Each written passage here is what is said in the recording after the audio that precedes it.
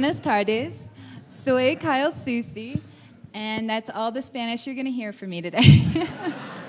I really do wish I could say more. So, I'm here today to talk to you about hablarles sobre los pecados de un investigador en experiencia de usuario y Dios sabe que yo he cometido muchos y estoy aquí hoy para compartirlos con ustedes. Y hay una razón para esto. Y todo esto empezó porque no hay nada que yo sienta que es más frustrante que cuando alguien me observa haciendo una prueba de usabilidad y después vienen y dicen, wow, eso es todo lo que usted hace. La gente de hecho le paga por hacer eso. Entonces, si no se dan cuenta de lo difícil que es. Y Carl Snyder, que escribió un libro maravilloso de prototipos de artículos, de verdad tiene una muy buena analogía para esto, porque ella dice, moderar un estudio de usabilidad o realizar in- investigaciones o entrevistas es como un pato en el agua todo es como, ¿no? Todo se ve calmadito en la superficie, todo se ve muy bien, muy fácil. Luego lo que no se dan cuenta es que están moviendo las patas como locos, ¿no? Entonces cuando hacemos estas entrevistas de usabilidad para investigación hay muchísimas cosas que estamos haciendo malabares, hay muchas cosas que ocurren, no es simplemente una entrevista de preguntas y respuestas, constantemente estamos tratando de pensar en qué vamos a profundizar, cómo eh, decimos lo siguiente para no sesgar los datos, para no estar direccionando la respuesta. Y a medida que hacemos más investigación, probablemente podamos tener que también trabajar con mensajes de texto o mensajes instantáneos que vienen de los observadores y mientras tanto uno tiene que tratar de hacer la conversación con el usuario o el participante de la prueba. Entonces hay bastante. ¿No? Entonces hay que hacer, uno salta, uno los deja, uno interrumpe, ¿qué hacemos? Pero hay muchas cosas que luchar, pero mucha gente piensa, ay, tan fácil que es, hasta que empiezan a hacerlo y empiezan a, ver, ¿no? Entonces yo he estado haciendo esto por mucho tiempo, 14 años que he estado haciendo estas pruebas de usabilidad y durante ese tiempo debe haber cientos de estudios. Ahora yo les puedo decir, en esos 14 años yo he cometido muchos errores. Y en verdad eso es lo que son errores. Entonces miremos como la palabra pecados, ¿no? Quitémosla. Porque cuando pensamos en pecar, la gente escoge cometer el pecado. Nosotros en verdad no escogemos cometer pecados. Entonces en verdad eso es lo que esto es. Es como una revisión de errores que podemos cometer porque en verdad no son intencionales. A pesar de que alguien una vez me vino y me dijo que ella de hecho peca porque ella sabe que no debería estar haciendo algunas de estas cosas, pero las hace. De todas maneras, eso puede pasar también. Y bueno, sin importar eh, esto, yo creo que es muy bueno tener como refrescar estos temas, no importa la experiencia, ¿no? Porque para no cometerlos. Entonces, de hecho, quiero saber cuánta gente en este salón ha realizado una entrevista de investigación de usabilidad o ha sido moderador o ha moderado estas pruebas. Ok, muy bien, bastantes. Listo, entonces para los que no lo han hecho, esto es algo muy bueno porque ustedes van a aprender de mis errores para no cometerlos de nuevo y para los que ya han moderado sus propios estudios, entonces me da curiosidad saber qué piensan. ¿Piensan que algunos de estos son pecados? Es debatible, algunos piensan que no, o si ustedes tienen unos propios que quieran compartir, también eso sería muy bueno. Ok, entonces vamos a entrar al primer pecado y ese es no conocer el producto que estamos investigando. Puede que parezca obvio, pero yo me encuentro mucho de esto cuando muchos investigadores piensan que no necesito como saber todos los detalles de una interfaz antes de probarla, porque se supone que yo voy a ser tonto con el usuario, no darle nada. Entonces no voy a aprender tanto como pueda al respecto. No, ese no es correcto. Ustedes tienen que conocer el producto, también como los diseñadores, gerentes de producto e ingenieros que lo construyeron, sino más. Porque si no, nos vamos a encontrar en esta situación donde el moderador está diciendo, ok, vamos a la siguiente tarea. Y los observadores están, ¿cómo así que sigamos? Si hay muchas cosas acá que no está viendo. No, por ejemplo, no conoce las características o funciones avanzadas. Entonces, uno no va a poder profundizar si uno no conoce el producto lo suficientemente bien. Entonces, nunca se basen simplemente en ese de que, ay, tengo que hacerme el tonto frente al usuario y no tengo que conocer el producto bien. Porque si no conoces muy bien el producto, no se puede probar bien. Ok, siguiente pecado. No conocer el filtro o quién ha sido reclutado, ¿no? David ya habló de los filtros de reclutamiento, estos son muy importantes. Necesitamos garantizar que tenemos la gente correcta en el estudio. Es el punto de entrada número uno para el sesgo. Entonces, cuando alguien, como por ejemplo, está tratando de encontrar errores en la investigación, lo primero que van a hacer es mirar a ver con quién habló. En verdad son los usuarios finales y si no lo son, entonces no podemos presentar los hallazgos con confianza. Entonces la razón por la que esto es un problema grande también es que muchas veces nos encontramos en esta situación. Cuando le pregunto a alguien, bueno, ¿cuánto tiempo ha estado usando el producto? Y dicen, bueno, no soy un cliente. No, pero se supone que sí, ¿no? Por eso fue que lo reclutaron. Entonces, bueno, ¿de quién es la culpa? ¿Es la culpa del reclutador o es mi culpa? Ahora, cuando yo estaba empezando, yo le echaba la culpa a los reclutadores mucho. Ay, no siguieron mis criterios que yo tenía en el filtro. Pero yo me di cuenta también que los reclutadores a veces son perezosos. Simplemente a veces, bueno, no necesariamente obtienen a la gente que necesita estar en el estudio que queremos en el estudio. Entonces lo que me da cuenta es que tengo que hacer mi debida diligencia como investigadora y antes del estudio, de hecho, llamar o enviar a los participantes y hacerles un prefiltro y estar seguros, seguros. Entonces, si vamos a presentarnos, entonces a ver si vale la pena de tomar o no. Otra cosa acerca de conocer y saber quién ha sido reclutado es de hecho tomarnos el tiempo para aprender un poquito de ellos. Usualmente en un filtro de reclutamiento tenemos el nombre, la planilla, ¿no? El cargo, quizás lo que hacen y quizás alguna experiencia de producto, pero tómense el tiempo de hecho leerlo y no simplemente dos minutos antes de hablar con ellos. Si le están hablando a alguien y se toman el tiempo, de hecho, para mirar cómo pronuncio el nombre adecuadamente, ¿no? Eso ya es algo. Es decir, porque yo soy un perfecto desconocido a esta persona y yo tengo que construir una buena relación y una de las cosas que hacemos es estar mirando los papeles y acá una cosa, vemos, a ver, ah, perdón, ¿qué es lo que haces? Entonces, esa información es bueno saberla. Son cosas pequeñitas, pero son importantes no hacer una prueba piloto. Entonces, como por ejemplo, eh, esto es muy importante, si no se hace una prueba preliminar o piloto, la primera investigación o la primera entrevista de la investigación va a ser la prueba piloto y la razón por eso es que cada vez que se hace una entrevista por primera vez, siempre hay algo que vamos a querer cambiar, siempre hay algo que vamos a querer cambiar el orden de las preguntas, o nos damos cuenta que, bueno, esto no fluyó muy bien, quiero cambiar las cosas un poquito, o el cliente o un consultor, ¿no? Porque a veces soy un consultor, porque a veces los clientes dicen, ¿sabe qué? Esta no es la investigación que queremos, antes de hacer esto, cambiemos esto. Entonces esa prueba preliminar es muy importante. Muchas veces nos encontramos en esta situación, ¿no? Donde pensamos que tenemos suficiente tiempo para todas las tareas en nuestro plan, y luego viene la prueba y no hicimos la piloto y resulta que ah, no tenemos suficiente eh, tiempo para probar lo último punto y esto es muy importante, ahora muy importante. Y entonces se molestan. Si hubiéramos hecho una prueba piloto previa, entonces hubiéramos sabido. Entonces para la siguiente sesión vamos a tener que cambiar las cosas y todo esto se puede evitar. Y en verdad, bueno, nos quita el estrés para ese día de la investigación que vamos a hacer. Es bueno para ustedes también hacer como esta prueba piloto. ¿Ok? Entonces también hacer preguntas sesgadas. Uno nunca quiere como responder una pregunta para un participante, ¿no? O sea, este ejemplo, entonces él dice, yo compartiría esta información y uno le pregunta, ¿por email? Bueno, entonces ya uno no dejó a la persona responder, ¿no? Entonces, ¿cómo deberíamos hacer esta pregunta? Deberíamos decirle, ¿cómo la compartirías?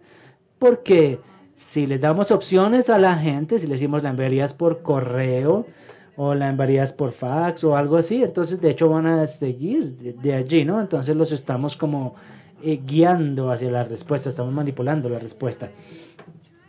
Entonces hay que tratar, ¿no? De no responder una pregunta por el participante es muy clave porque tenemos que pensar en los datos que obtenemos. Entonces los datos no van a ser tan buenos si ustedes son los que les están dando las respuestas a los participantes. Preguntar si una función va a ser usada alguna vez. Por ejemplo, a mí a veces los clientes me dicen, haga esta pregunta mucho. Me dicen que la haga, pero no podemos hacer la pregunta.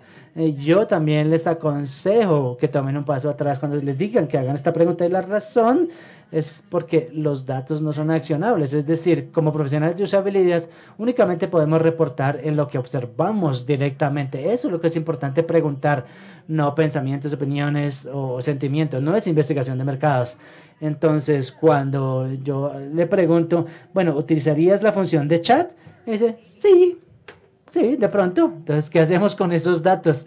No los observamos directamente usando. Si en verdad queremos saber si alguien usaría algo, entonces mi sugerencia es ah, hacer un prototipo, eh, construir el prototipo, hacer una tarea donde se requiera su uso y mirar si lo usan o no, si lo miramos o no, no.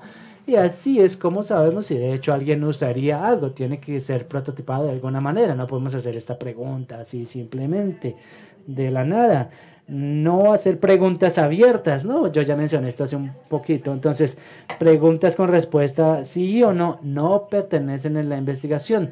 Si un participante puede responder la pregunta diciendo sí o no, no es una pregunta correcta, porque entonces no vamos a perder muchos detalles. Entonces, de nuevo les estamos dando como la respuesta, ¿no? Entonces, aquí la moderadora dice, ¿piensas que el proceso podría mejorarse cambiando X, Y o Z? Y ellos dicen sí o no. Eso no nos dice mucho, eso nos da nuestra idea de cómo debería ser. Lo que la moderadora debería hacer aquí es, de hecho, decir, ¿cómo piensas que podría mejorarse? ¿Cómo lo cambiarías? Los datos que obtenemos de allí son muy diferentes, bastante diferentes.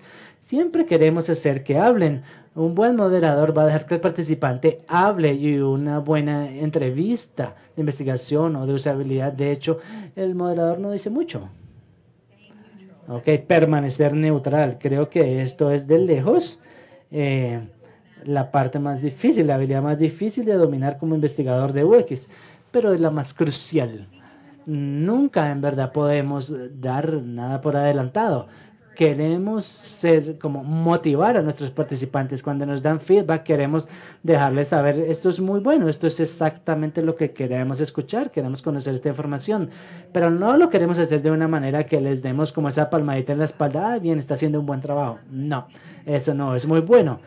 No queremos ser porristas para el participante eh, o a veces tampoco queremos darle retroalimentación negativa. Entonces cómo lo hacemos ¿Cómo recibimos retroalimentación de los participantes y permanecer neutrales? Bueno, la manera en que lo hacemos es que lo mantenemos muy limitado, las respuestas sean cosas como, ajá, mmm, interesante.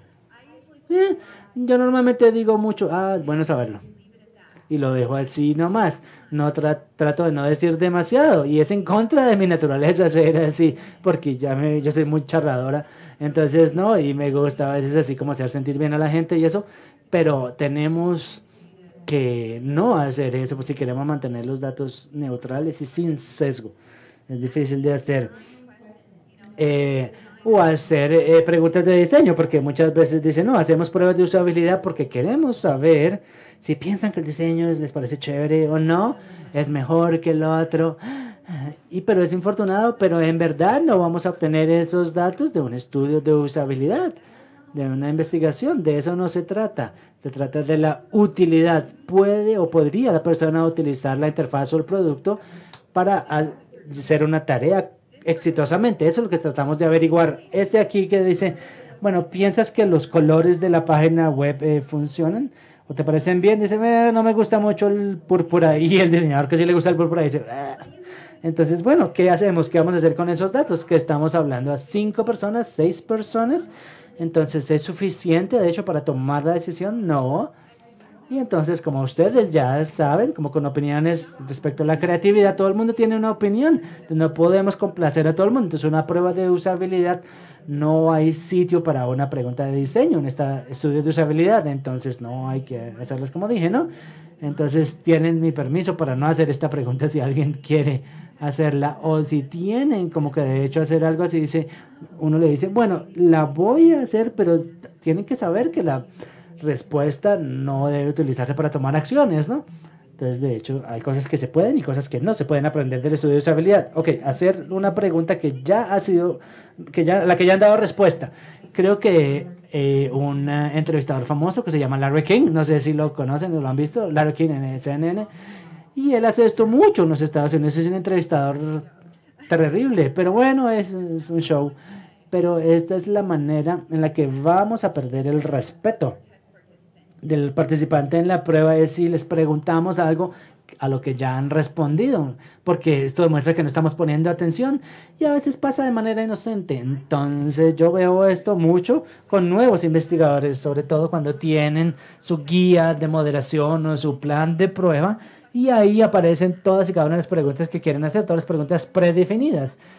Y lo que pasa es que no se dan cuenta es que cuando nos sentamos con alguien es no es así, no vamos de una manera secuencial con unas preguntas para una conversación. Una conversación no pasa así. Entonces, de un momento a otro estamos en la pregunta 7 inmediatamente. Pasa, a veces pasa. Entonces es lo que surge naturalmente.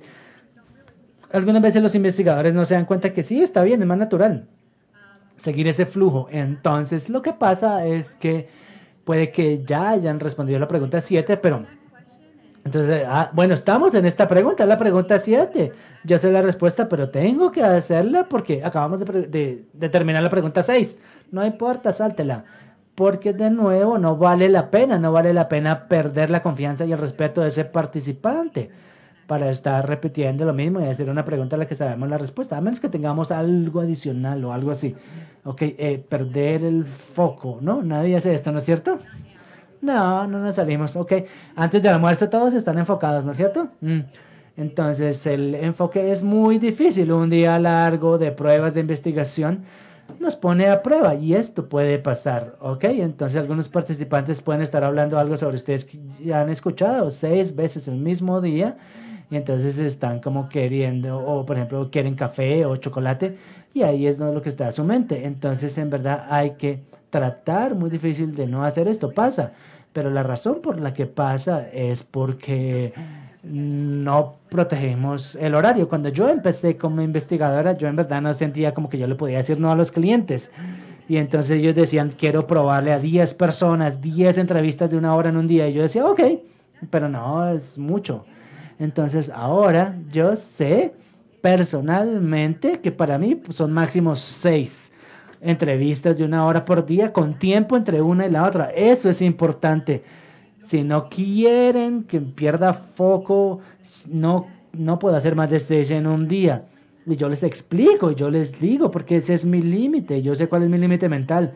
Y yo sé que la investigación va a sufrir si no lo hacemos así. Entonces no les dé miedo de averiguar cuál es su máximo, porque ustedes están creando sus habilidades de, para entrevistar. Y el tiempo entre una entrevista y la otra es muy importante porque a veces un participante puede que llegue tarde u otro se excede o etcétera. Y necesitamos un break, así sea 5, 15 minutos, perdón, entre las sesiones. Estamos de buenas si alcanzamos a ir al baño, ponernos algo de comida en la boca y ir otra vez. Y puede que no es suficiente tiempo.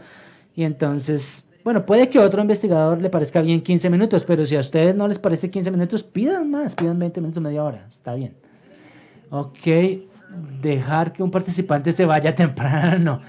Esta caricatura acá, ¿no? de hecho, se basa en algo que yo vi acá, ¿no?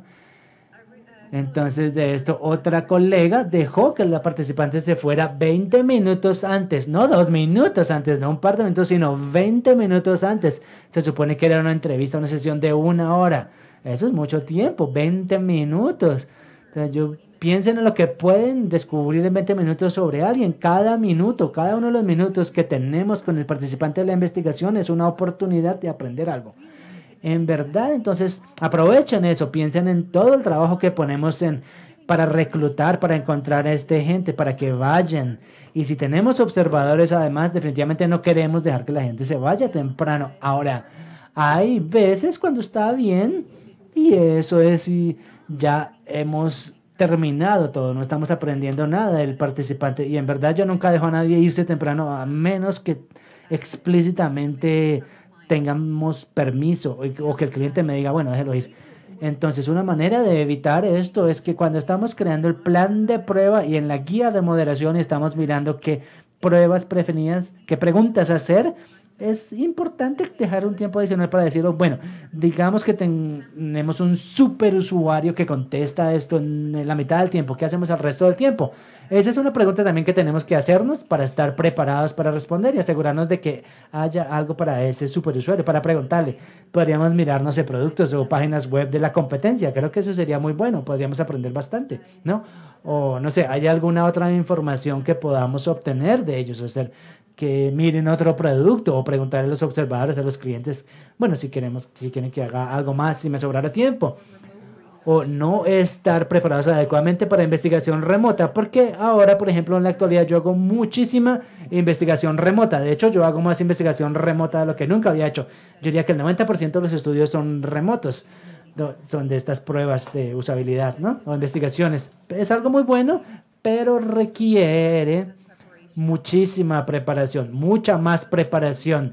Si quieren que funcione bien, hay muchas cosas que uno puede hacer. Si queremos evitar este tipo de situaciones donde el participante se corta el teléfono porque están utilizando un celular y no debería ser así, ¿no? Entonces, tenemos que hacer la diligencia, decirle al participante con suficiente tiempo, necesito que utilice un teléfono fijo, que no sea VoIP, no, que no sea un teléfono celular, sea por internet y vamos a entrar 10 minutos antes para mirar que el WebEx o lo que sea que esté funcionando esté funcionando bien. Tenemos que explicarles y tener también un plan de respaldo. ¿Qué pasa si WebEx no funciona ese día o Web2Meeting no funciona? Entonces, ¿qué hacemos? Entonces, ¿qué vamos a hacer allí? Entonces, yo sé que puedo parecer paranoica, pero de hecho yo tengo ya programadas reuniones de backup para que si una no funciona, tengo la otra y la puedo arrancar inmediatamente. Y otra cosa es que mucha gente no se da cuenta, es que se preocupan mucho el día de la prueba, de la investigación. Bueno, ¿y qué pasa si el participante no puede ingresar a la reunión en línea? Tenemos los observadores, etcétera, si no pueden ingresar, etcétera. Entonces, bueno, ¿y pero por qué ese temor? Podemos eliminar ese temor haciendo una reunión de prueba con todos los participantes de la prueba previo al día de la prueba y yo sé que parece bastante.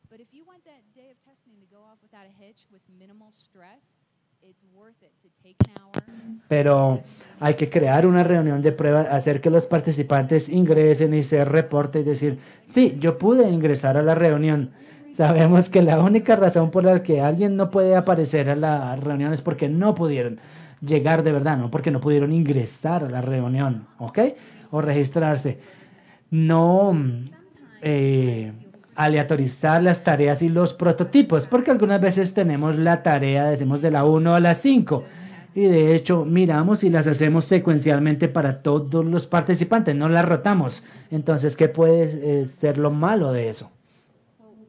Eh, bueno, lo que puede pasar es que empezamos a darnos cuenta que mm, todo el mundo completa la última tarea fácilmente y la hacen más fácil que las otras. Bueno, pero eso es porque para cuando llegan a la última tarea ya han aprendido de la interfaz, ya entonces saben qué es lo que pasa. Entonces, en verdad es muy bueno si podemos alternar, rotar las tareas o las preguntas, ¿no? Por ejemplo, entonces hacer primero las cinco. Es decir, sí se puede, porque hay algunas veces es un proceso secuencial y tienen que hacerlo así. Entonces, en ese caso, no se pueden alternar las tareas, pero cuando se puede es muy bueno hacerlo también con los prototipos. Muchas veces algunos de mis estudios son o involucran evaluar dos versiones diferentes de algo, o tres. Y si siempre muestro la opción A primero, ese es un problema, ¿cierto? Es ah, cambiar la manera en que miran a la opción B. Entonces mezclarlas para cada participante es muy bueno. Eh, también otra cosa es que tampoco queremos hacer pruebas de demasiadas versiones de algo, porque de hecho un cliente quería que yo probara cuatro diferentes versiones de la navegación en una aplicación móvil, cuatro versiones diferentes, y ella quería saber cuál era la mejor. Y únicamente estamos haciendo el estudio con seis personas, entonces como, ah, ah, no lo vamos a obtener, no va a pasar. Dos, quizá tres máximo para comparar diferentes prototipos o versiones. ¿Ok? La 14 eh, olvidarnos de grabar. Siempre pasa. No me importa cuánto tiempo hayan estado, hasta que tanta experiencia, se les va a olvidar presionar el botón de grabación en una sesión y va a ser la mejor sesión del día. Siempre pasa. Y bueno, y de pronto nadie la observó y dice, ah, más adelante vamos a ver el video. Y nadie la grabó. Ah, pasa, pasa. Es, bueno, la manera de protegernos contra esto es decir, tengamos la lista, hagamos una listica de verificación.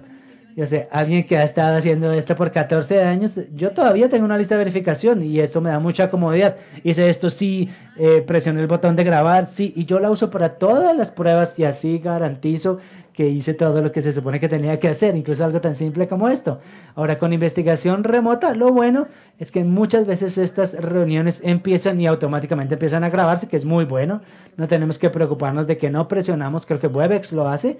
Entonces, pero este no es siempre el caso, entonces hay que saber que esto va a pasar. Entonces, la mejor manera de protegernos es utilizar una lista de verificación. Entonces, lo último que vamos a discutir es no hacer un debrief con el observador. No puedo decirle cuántas veces eh, veo investigadores que hacen la investigación, pero nunca tienen una discusión paralela después con los observadores, después, ¿no? Para decir, a ver, ¿qué les pareció o qué fue lo mejor de esta prueba?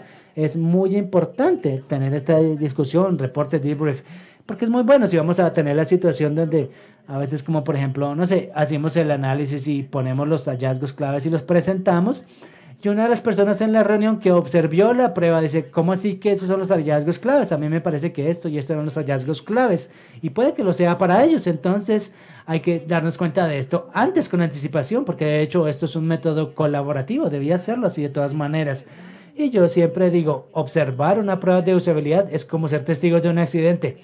Todo el mundo lo ve de manera diferente, todo el mundo tiene una historia diferente después de que lo ve y por alguna buena razón la perspectiva de todo el mundo es diferente. Como un consultor externo, lo que puede que sea un muy gran momento para mí puede que no lo sea para ellos y viceversa. Muchas veces mis clientes puede que estén haciendo, oh, wow, no puedo creer que hice eso y entonces yo estoy como, entonces puede que no, hay cosas en el producto que quizá yo no sepa, entonces puede pasar, entonces esta discusión es muy bueno y no es simplemente el debrief con el observador nunca debe ser simplemente 10 o 15 minutos antes de que el siguiente participante entre, entre una sesión y la otra, porque a veces la gente trata de hacer, y también protejo mi tiempo así con mi cronograma. No los dejo que me quiten esos 15 minutos de descanso para debrief. No, ese tiempo entre una prueba y la otra es cuando yo tomo aliento, tomo algo, como algo y escribo unas noticas, pero no voy a tener una conversación sobre lo que acabo de pasar ahí en ese momento. Es demasiado agotador, tengo que esperar hasta más adelante para el debrief. Y debe ser una reunión, a veces se toma hora, hora y media, dos horas, pero ahí sí revisamos todas las eh, pruebas y bueno, a ver cuáles fueron los mejores momentos de uno o la otra. Y esto es muy, muy valioso. Y de hecho, yo sé que es más trabajo, pero siempre trato de hacerla, ¿ok? Entonces, hacer todo esto, vamos a garantizar algo que se vea así, como más tranquilo cuando estamos moderando el estudio, ¿no? Yo sé que esto requiere mucho trabajo, requiere mucha preparación y mucho trabajo para hacer que, no, se vea como que, ay, sí, funciona tan fácil, pero les prometo que si lo hacen bien, si lo dominan, se va, que si no lo hacen, va, se va a ver así, va a verse como, entonces la gente, uy, no, no es tan fácil. Entonces, si van a hacer investigación, tómense el tiempo adicional para hacerlo de la manera correcta. Y si quieren aprender más, hay muy buenos recursos. Ok, moderar pruebas de usabilidad para entrevistar usuarios, ¿no? Yo mencioné un libro de prototype de Kyle Snyder. Yo sé que es chistoso mencionar como un libro de estos de pruebas de prototipos, pero ya tiene un muy buen capítulo. Está Carolyn Snyder, ¿no? Snyder, perdón. Eh, es muy interesante. Y si están interesados también en estos dibujos, de hecho hay un póster, un cartel que yo creé para una conferencia. Entonces aquí están todas, la página web está aquí, pero estas diapositivas también van a estar en SlideShare si quieren verlas y usarlas. Muchas gracias.